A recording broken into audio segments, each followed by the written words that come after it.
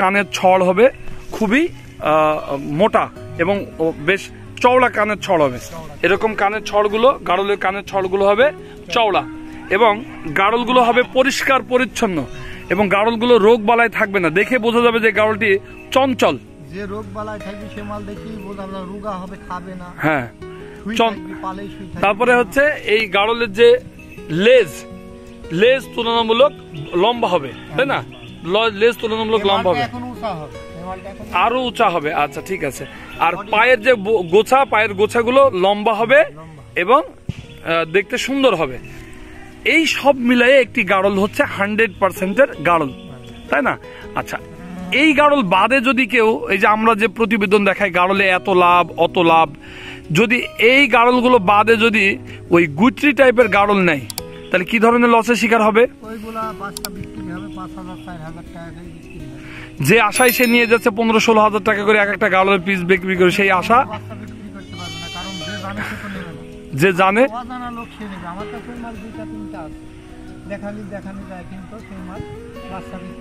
আচ্ছা তুমি আরেকটু এগিয়ে আসো। তাহলে দর্শকরা যদি তোমার কাছ থেকে এই ভালো জাতের এই রকম কান দেখে এই রকম গাড়লের বডি দেখে হ্যাঁ এই যে যে যেরকম গাড়লের বডি দেখছ এরকম লং বডি এই গাড়লটা লং করতে হবে বলো তো কয় হাত হবে? এটা দুই হাত। হাত তোমার হাতের দুই হাত এই লং হ্যাঁ দুই হাত। দুই হাত। লং এবং প্রায় দেড় হাত উঁচু। হ্যাঁ দেড় হাত উঁচা। প্রায় দেড় হাত উঁচা। দেড় হাত লং এবং দুই হাত উঁচা কানের এরকম ছড়ানো কান এই রকম জাতের পা। হ্যাঁ এরকম সুস্থ একটি গাড়ল সাদা ফ্রেমের এরকম সুস্থ একটি গাড়ল তোমার কাছ থেকে যদি কেউ ক্রয় করতে চায় নিতে পারবে তো আমার খামারিরা? খামারি ভাইরা নতুন কোনো খামারি ভাইরা? কেননা এই দিয়েই তো গাড়ল খামার শুরু করতে। প্রিয় বন্ধুরা আপনারা কোনোভাবে কারোর প্রয়োজনায় ওই সাত হাজার চার হাজার পাঁচ হাজার টাকা গাড়ল নেবেন না। আপনাদের অনুরোধ করতেছি আপনারা গাড়ল যে যে আশায় আপনার গাড়ল পুষতে যাচ্ছেন যে একটা গাড়ল বিক্রি করে পনেরো হাজার ষোলো হাজার টাকা আপনারা নেবেন এইরকম আশায় যদি আপনারা গাড়ল নিতে চান তাহলে আপনাদের অবশ্যই এই রকম লেজের গাড়ল আপনাদের বাছাই করতে হবে। এরকম লেজের যদি গাড়ল আপনারা বাছাই করতে না পারেন, তাহলে আপনাদের খামার কোনোভাবেই লাভ হবে না।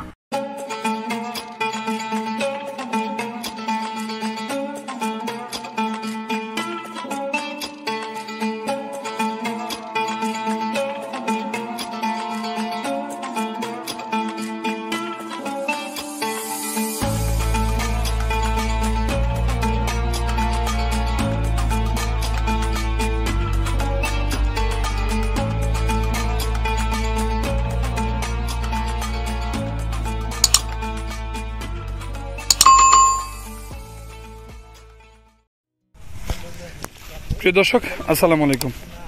প্রত্যেকে স্বাগতম জানাচ্ছি সময়ের জনপ্রিয় অনুষ্ঠান টেলিকৃষি প্রেজেন্টেড কৃষি এবং কৃষকের কথা অনুষ্ঠানে। প্রিয় বন্ধুরা, আমরা এই মুহূর্তে রয়েছি মেহেরপুর জেলার মুজিবনগর থানার মহাজনপুর গ্রামে।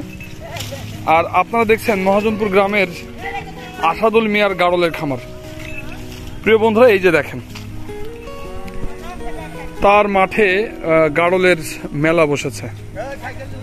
আপনাদের দেখাচ্ছি আমরা। প্রিয় বন্ধুরা, এই যে দেখুন। তার মাঠে অনেক বিস্তীর্ণ এলাকা জুড়ে গাড়লের খামার রয়েছে। প্রিয় বন্ধুরা, আমরা আজকে তার এই যে গাড়লের খামার রয়েছে গাড়লের খামার থেকে আমরা আজকে দেখব মূলত প্রথমবারের প্রেগনেন্ট প্রথমবারের মতো প্রেগনেন্ট হওয়া বেশ কিছু গাড়ল দেখব এবং সেই গাড়লের দাম সম্পর্কে তোমাদের ধারণা দেবো। হ্যাঁ হ্যাঁ আসো। প্রিয় বন্ধুরা আমরা দেখি। এই যে দেখেন প্রথমবারের মতো প্রেগনেন্ট গাড়ল আমরা দেখব। দেখব এবং এই গাড়লটার জাত বয়স সম্পর্কে আপনাদের টুকিটাকি ধারণা দেব। সালাম আলাইকুম মামু। কেমন আছো গো? ভালো আছো? আচ্ছা। তো এখন তুমি যে গাড়ল দেখাচ্ছ এটা বয়স কতদিন? তেরো মাস, প্রথমবারের মতো প্রেগনেন্ট তাই না? আচ্ছা প্রথমবারের মতো প্রেগনেন্ট তেরো মাস বয়সী গাড়ল আচ্ছা ঠিক আছে। দাঁত দেখাও দেখি। এই যে এই যে দেখ প্রিয় দর্শক দাঁত, হয়েছে দাঁত? হয়নি, এখনও হয়নি। এখনও হয়নি। প্রিয় দর্শক ভেঙেছে? আচ্ছা তাহলে এটা এই যে দেখেন, প্রিয় দর্শক, আপনারা দেখেন। বসো বসো বসো। অসাধারণ বডির একটি কারণ বসো মামা, বসো বসো। অসাধারণ বডির। আসলে এই গাড়লগুলো দিয়ে যদি খামার শুরু করা যায়, তাহলে সেই গাড়লগুলো লাভবান হয়। আচ্ছা তাহলে এটার বয়স হচ্ছে তেরো মাস। প্রেগনেন্ট হচ্ছে কয় মাসের? তিন মাসে প্রেগনেন্ট এটা দেখে মনে হচ্ছে যে তোমার ধাড়ি। হ্যাঁ কাটা। টাইট ফিটিং টাইট ফিটিং মাল। আচ্ছা মামা একটা জিনিস বলো তো, যে এই যে গাড়ল কোন গাড়লের বয়স দেখা যাচ্ছে যে তোমার তেরো মাস। তার বডি বেশ ছাড়া বডি মানে উঁচু পাচা তার ছাড়া বডি আবার তেরো মাস বয়স আর একটা গাড়ল দেখতে পাচ্ছি, এত উঁচু পাচা না, এত ছাড়া না। তাহলে এই যে জাত নির্ণয়ের ক্ষেত্রে, জাত নির্ণয়ের ক্ষেত্রে এটা মানে একজন নতুন খামারি তো বুঝতে পারবে না।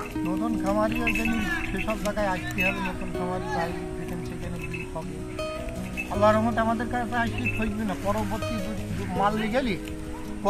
সে নেবে প্রথম নিজে। আচ্ছা। পাবে যে আমাদের যে ভাই আচ্ছা ঠিক আছে। তাহলে এখানে যারা তোমার হচ্ছে নতুন যারা খামার শুরু করতে যাচ্ছে হ্যাঁ? খামার শুরু করতে গিয়ে এরা কিন্তু কম দামে গাড়ল নিয়ে যাচ্ছে ঠকতেছে। তাহলে এই ঠকার কারণটা কি একটু ভালো করে বুঝি বলো? এইটটি পার্সেন্ট তো নিচ্ছি না। তারা নিয়ে যাচ্ছে ফাইভ সিক্স পার্সেন্ট গাড়ল বলি গাড়ল বলি এসে ওরা সিক্স পার্সেন্টগুলা গাড়ল বলি চালিয়ে সিক্সটি পার্সেন্টগুলো? পার্সেন্ট মাল আমার কাছে আছে লেজ বড় হইলে যে গাড়ল হয় তা না। আগে বুঝতে হবে লেজ বড় দেখা যায় অরিজিনাল মেড়া দিয়ে ওইগুলা পরিচালনা করি ওই মাল তৈরি করছি কিন্তু ওই তৈরি করে ঢুকি দিই। পার্টি তো নতুন পার্টি বোঝে না। আচ্ছা তাহলে তুমি আরেকটু এগিয়ে আসো। এখানে একটা গুরুত্বপূর্ণ কথা বলেছ। সেটা হচ্ছে অরিজিনাল বাবাদি ক্রস করাইছি। হ্যাঁ ক্রস করাইছি এবং দেখা যাচ্ছে সিক্সটি পার্সেন্টের গাড়লকে ক্রস করাইছি। করিয়ে লেজটা একটু বড় হয়েছে। এবার ওই যে সেমে যে গাড়লটা আসে লেজ হয়তো বা আসছে আসছে কিন্তু বডিতে নাই। তাহলে গাড়ল যখন কিনতে যাবে তাহলে কয়টা জিনিস তাকাইতে হবে তার? লেজও দেখতে হবে। দেখতে হবে কান কি দেখতে হবে কানের কি দেখবে বলো তো? দেখাও দেখাও দেখাও কানের পুরো পাতাটা দেখাও। অরিজিনাল গাড়লের মামা বলো তুমি রবিজুল মামা বলো কি বলল জানো? বলো কানের কি কি দেখতে হবে? এই যে এই পাতাটা এই যে ভাতটা দেখলি বুঝতে পারবি এই যে কতখানি সেওটা পুরো এই যে কানের কোলটা দেখলি বুঝতে পারবি আর যে লম্বা সর হ্যাঁ। সর দেখলি বুঝতে পারবি। বসো বসো বসো বসো। আমরা একটু ভালো করে দেখাও। তাহলে কি বললা কানের ছড় দেখবে কানের?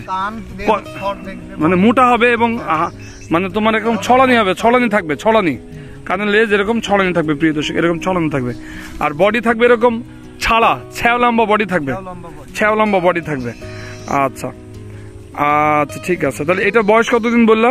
তেরো মাস বয়স। তেরো মাস বয়স বললা। আচ্ছা মামা আরও একটা কিছু বলো আমাদের।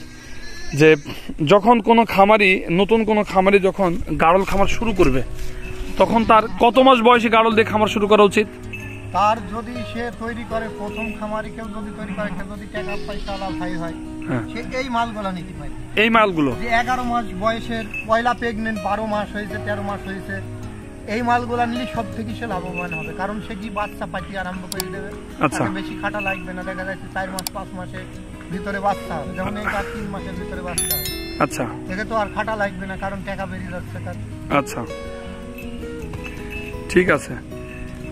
আচ্ছা আচ্ছা গাড়লের এই যে আমরা দেখলাম গাড়ল চেনার উপায়ের ক্ষেত্রে তুমি আমাকে আরও কিছু তথ্য যদি দিতে পারো দেখি একটু একটু সরিয়ে নিয়ে আসো এই পাশে। যে আর কি কি দেখে বুঝতে পারবে যে গাড়লটা হান্ড্রেড পার্সেন্ট? আর কি কি? ঠ্যাঙের উঁচাটা। মানে ঠ্যাঙের গোজ ইয়েস এই যে দেখেন একটা শুকনা গোজ আছে আর এটা দেখেন একটু বেশ ইয়েটা বেশ পুরু। লেজের গোচা ঠ্যাঙের গোজ এবং উচ্চতা। এবং সাথে হচ্ছে কান ছাড়ানো থাকবে। কানটার ইয়েটা ভালো ভালো হবে। আচ্ছা আরেকটা জিনিস, সেটা হচ্ছে যে গাড়ল কতটা সুস্থ। গাড়ল সকল সময় আল্লাহ না এই যে গাড়ল কতটা দেখে সুস্থ মানে এটা চোখে দেখে বুঝে নিতে হবে। হ্যাঁ, আচ্ছা এটা কীভাবে সে বুঝবে যে গাড়লটা সুস্থ মামা? এটা খাওয়া দাওয়া দেখলি বুঝতে পারবি। মানে না যেটা মাল অসুস্থ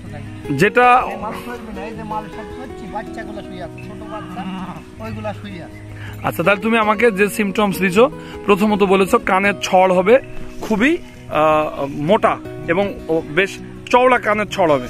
এরকম কানের ছড়গুলো গাড়লের কানের ছড়গুলো হবে চওড়া। এবং গাড়লগুলো হবে পরিষ্কার পরিচ্ছন্ন। এবং গাড়লগুলো রোগ বালায় থাকবে না। দেখে বোঝা যাবে যে গাড়লটি চঞ্চল। যে রোগ বালায় থাকবে সে মাল যায় রুগা হবে খাবে না। হ্যাঁ। তারপরে হচ্ছে এই গাড়লের যে লেজ লেজ তুলনামূলক লম্বা হবে তাই না? ল- লেজ তুলনামূলক লম্বা হবে। আরও উঁচা হবে আচ্ছা ঠিক আছে। আর পায়ের যে গোছা পায়ের গোছাগুলো লম্বা হবে এবং দেখতে সুন্দর হবে। এই সব মিলাই একটি গাড়ল হচ্ছে হান্ড্রেড পার্সেন্টের গাড়ল তাই না? আচ্ছা এই গাড়ল বাদে যদি কেউ এই যে আমরা যে প্রতিবেদন দেখাই গাড়লে এত লাভ অত লাভ যদি এই গাড়লগুলো বাদে যদি ওই গুটরি টাইপের গাড়ল নেয় তাহলে কি ধরনের লসের শিকার হবে? যে আশায় সে নিয়ে যাচ্ছে পনেরো ষোলো হাজার টাকা করে এক একটা গাড়লের পিস বিক্রি করে, সেই আশা যে জানে।